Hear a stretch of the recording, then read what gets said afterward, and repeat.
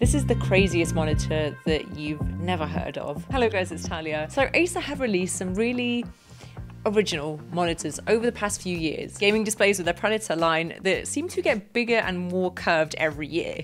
At some point it has to stop right? and monitors for creatives, most notably with their Spatial Labs 3D monitor, which does exactly what it says on the tin. It perfectly images your 3D creations in Blender to your display, so you can view them in, in reality. I've never seen 3D look so clean, so realistic. If you ever see one of these at an event or in a store, they bring them around, especially to the gaming events. Um, try it out because you will be mind blown. You can also play games on them, crazy. But all of these designs tend to live in the gaming slash creative world uh, because they're so special. And really special tech like this tends to also come with a special price tag.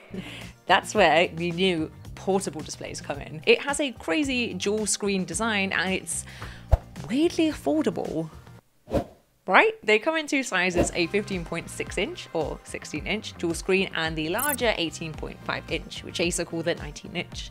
Um, and it is the ultra portable monitor setup, there is two full HD displays that stand up on a kickstand, which can then be folded down to a one inch thickness, weighing just over 1.5 kilos. Pretty much like a laptop. You can use it as two separate displays or one big mega display. the possibilities are endless.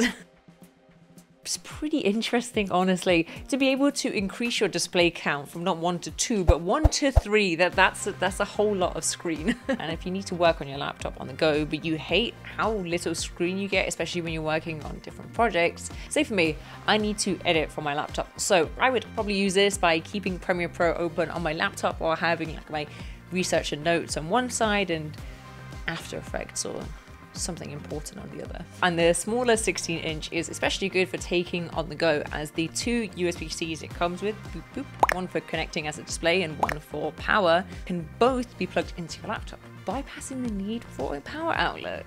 This is a really cool concept for content creation, the ability to take your whole setup with you on shoot.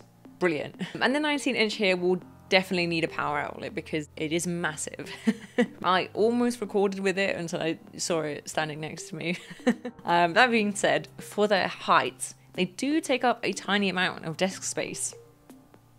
Yay big. This would be great for tiny setups because it takes up almost no room. You can even VESA mount it onto a monitor arm so then you keep 100% of your desk space. Or if you work at like a multifunctional surface, the dining room table. You can easily set it up when you need to and then just fold it down and put it away in a drawer when you're all done. Really like plug and play to use. You don't even need to use it in this orientation either. You can flip the top screen back to make this um, tent configuration, which could be good for playing battleships, you know, or uh, even running a business.